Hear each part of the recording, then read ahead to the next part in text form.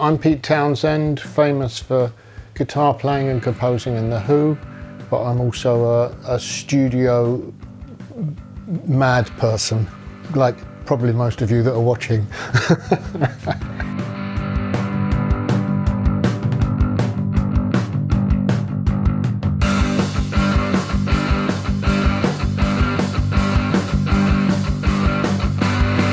With SSL, it wasn't just the automation, it was the sense that you had uh, compression in every channel, uh, the EQ, you could build a sound almost out of nothing. You could take, you know, the sound of somebody hitting a, a cardboard box and turn it into a bass drum, that kind of thing. It was a very creative tool. What I loved about the idea of the Console One was firstly the fact that it came with the SSL. That was primarily what it came with, although Softube make a lot of fabulous plugins themselves, but was the fact that it's like an SSL in a box, you know, the compressor, the, the EQ, the, the, even the drive uh, control. It enables me to sit in the sweet spot in the studio between the speakers and EQ and compress and master uh, stuff that I've been working on. That's kind of what attracted me to it. Also, it's big enough, it's not so too big to go into a backpack uh, or into a small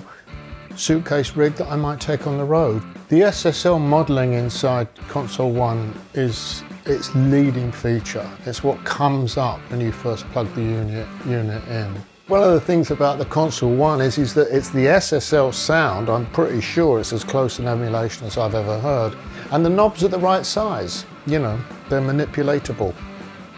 It does have a real sense of working with SSL. You have to get into the channel and start working with it and building something out of it. As soon as you move a knob on an SSL console, the con console, the sound tends to come to life, whatever you do.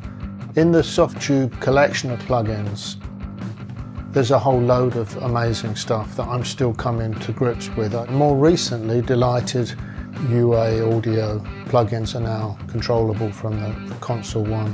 One thing that I found myself doing quite a lot is, which is incredibly easy, on console one is parallel processing.